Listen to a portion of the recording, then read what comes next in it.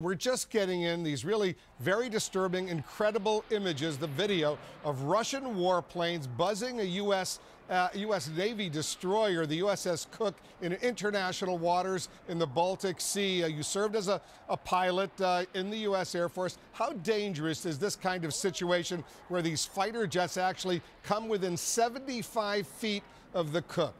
Yeah, it's very dangerous. Uh, two points on that. Number one, 75 feet is actually really close, and uh, this isn't uh, typical operating procedures. If you want to show a force, it's usually not at 75 feet. Uh, and, and the other issue is they were basically simulating a strafing run on our Navy ship. Now, I give a lot of uh, congratulations, I guess, a lot of shout outs to the commander for exercising discipline in this situation. But had this been, for whatever reason, a real strafing run, we would not have known that until after the first pass. So this is very serious escalation. It's also worthy to note, I believe there was a Polish helicopter on board.